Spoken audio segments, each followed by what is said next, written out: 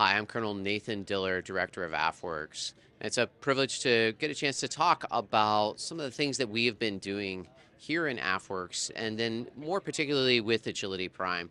We launched AFWERX in 2018 through the Department of the Air Force, looking specifically at an opportunity to open our doors to companies and to airmen and guardian ideas that maybe we weren't necessarily capturing under our traditional processes. We evolved over a couple of years, really trying to shift the culture of the Air Force in that period, thinking of ways that we really create those open doors and then we bring in those ideas. Then in 2020, we relaunched AFWERX.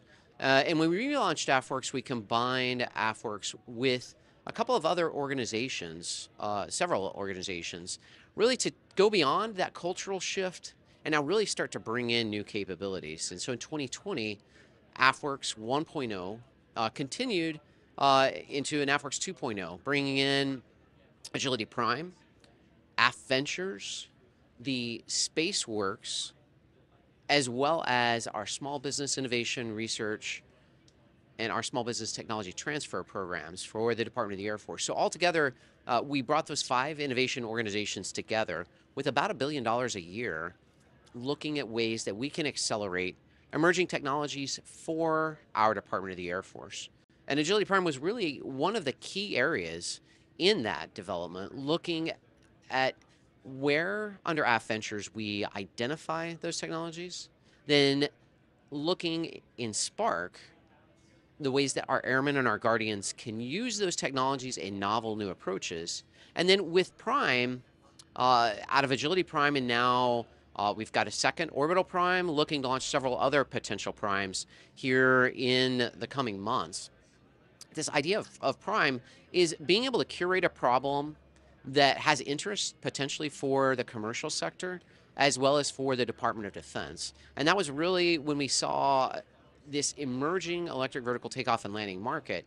Uh, we started in 2019 identifying companies that were in that space and identifying different use cases for that with the idea, again, a broader thesis for AFWERX that over 80% of research and development is happening in the commercial sector. And if we want to be successful going forward in our Department of the Air Force, we need to make sure that we are accessing that phenomenal talent and that really impressive capital that's out there and available.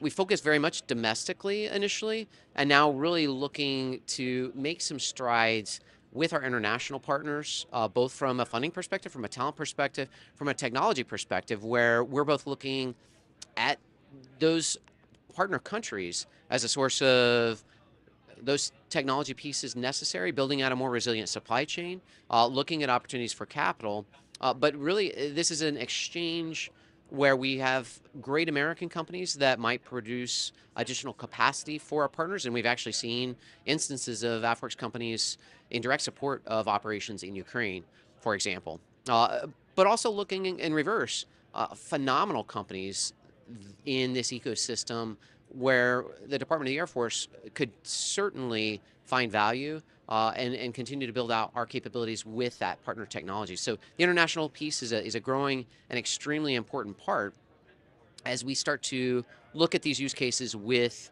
uh, the prime programs, bringing in these companies through AF Ventures, and then now the exciting part is the hardware is becoming available, the software is becoming available, getting it back out to our airmen and to our guardians to really solve those problems, uh, creating greater agility for all of our operators that are out there and uh, we believe creating significant savings for the taxpayer in this new partnership approach that we've taken.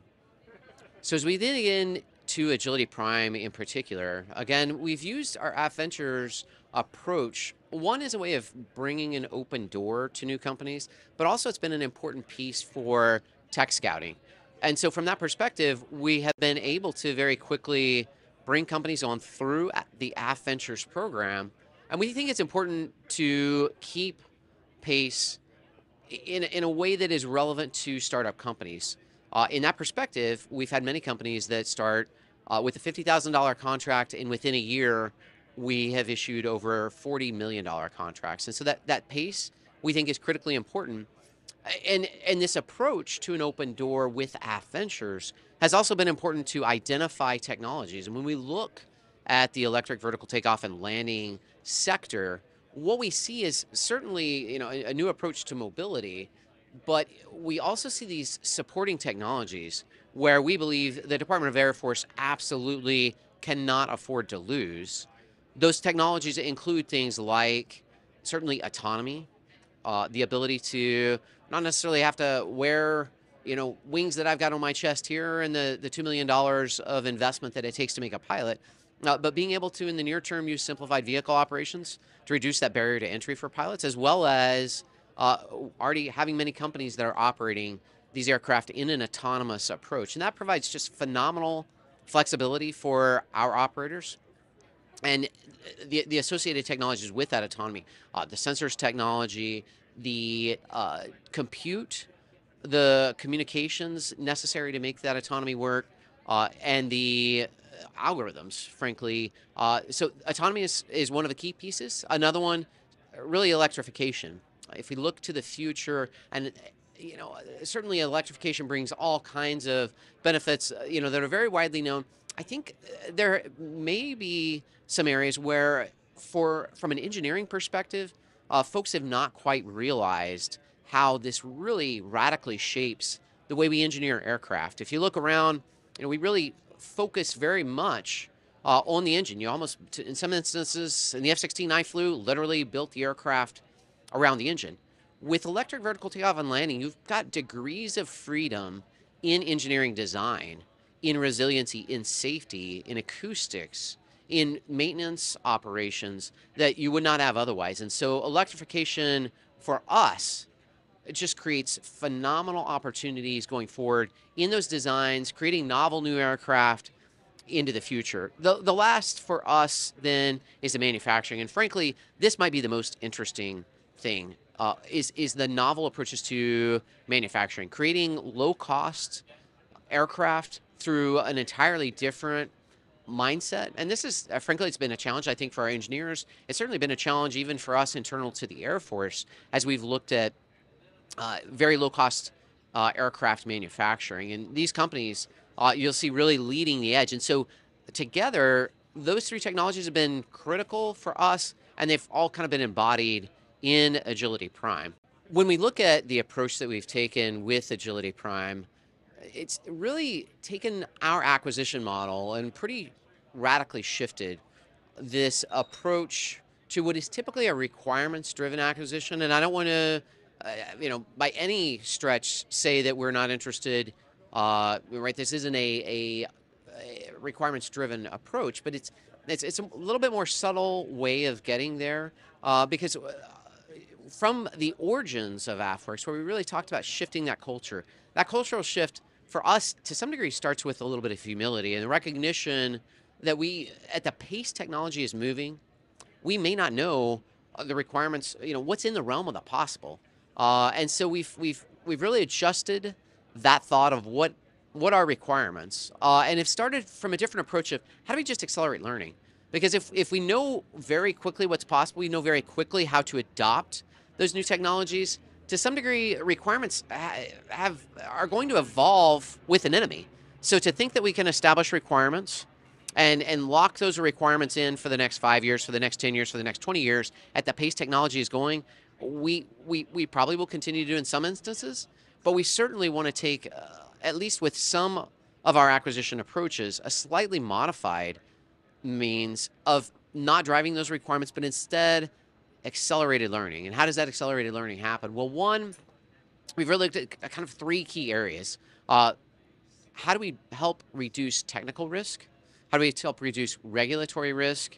And how do we help reduce financial risk? And as we look across that spectrum, we see that as really a learning campaign that allows us to rapidly evolve those small R requirements in a way that is relevant to industry. And so with the technical side, uh, working in the Air Force Research Laboratory, we've got many of our Agility Prime companies uh, working in our wind tunnels, doing things with think cyber resiliency, uh, ground vibration testing, uh, materials and manufacturing, uh, surety. So that technical risk reduction has helped us again, take some of these novel technologies and make sure that they meet what is an extraordinarily high standard for our airworthiness, which takes us kind of to the second point, this regulatory risk reduction. And when we think about that, you know, we in the Air Force have the ability to take aircraft. I've got a C-17 right in front of me here. You know, no concerns when we go fly that massive C-17 over a you know a crowd of, in a football stadium. It's because we have a, a very very high standard for what we expect in engineering and manufacturing in operations. And so when we look at reducing the regulatory challenges, when we see new aircraft uh, like electric vertical takeoff and landing, our airworthiness office spends a, a, huge amount of time looking at all the different failure modes and really putting a, stamp of approval that we've got federal government scientists and engineers who have seen that high level of rigor in these companies and that we believe well not we believe but we, we've been working closely with the faa uh, to eventually be able to start sharing some of that data in a way that helps accelerate what could be the commercial use cases in addition to our military use cases. And, and once we get that regulatory piece uh, at a level of rigor that's necessary, then that takes us to the third and final area where we've really put a lot of emphasis is the financial risk reduction, right? It's uh, the Air Force uh, potentially being an early adopter of some of these technologies uh, and really showing as we look across a spectrum now, going back to the requirements discussion, a spectrum of different capabilities that this helps with things like disaster response, where, you know, as we've seen over the last year, we spend a huge amount of time and resources, things like uh, logistics movements, things like medical evacuation. Well, those are not just great opportunities for our Department of the Air Force, but those are also provide huge opportunities in a commercial sector where now we help ideally build this market and reduce very broadly then that financial risk as the Air Force becomes a very small part of what should be a flourishing commercial industry. So I have had the privilege to get to fly over 60 different aircraft uh, in the Department of the Air Force as a test pilot. And it's phenomenal the machines that our Air Force has fielded uh, and the opportunity to to fly those machines uh, in places around the world. Uh, what as the Air Force, we have very much in our DNA a sense of looking to the new, looking to see what's next. And and when we look at opportunities to go from phenomenal, exquisite aircraft like the F-16 that's sitting here in front of the C-17 at Oshkosh, uh, an amazing aircraft that I loved flying. Uh, as, as I look at that and I compare that to some of the opportunities in a new era of aerospace, where it's not just a few pilots flying F 16s, but we now have potentially democratized flight so that we have really potentially all of our airmen, maybe even our guardians, uh, certainly our soldiers and our Marines, and, and, and likely our sailors, having the opportunity to use the air domain in ways that we never have before. Uh, that's that is extremely exciting. That radically changes the way we think about conducting operations uh, for our military, but certainly when you look at the potential public benefit that this would create in reducing uh, friction in transportation, reducing stress in people's lives, connecting humans through a, a radical new form of transportation that's quiet, that's low cost, that's simple, and in particular that's safe. Uh, it's it's hard to be an airman and not be really excited about that future potential and doing what we can to accelerate that exciting future. We launched Agility Prime just over two years ago. Since we did that, you know, when we first launched it, uh, really it was a hypothesis, you know, an experiment to see is there any of these really exciting startups, uh, are they interested in participating with the Department of the Air Force? Since then, we have over 30 companies who have applied to our Air Race to certification. We have over 300 companies who have won Small Business Innovation Research awards, uh, these contracts, or small business technology transfer. Uh, among those, you know, over 150 research institutions and universities. So uh, we feel like we have made some good strides in mobilizing and creating partnerships with the talent that's out there, uh, with the capital that's out there, and with the amazing technologists developing hardware and software. But really, we think that's just the beginning. Uh, we have an open call still to, uh, today for our Small Business Innovation Research Program. Uh, if you go to AFWERX.com, you can learn about that open call as well as the future open calls that we have.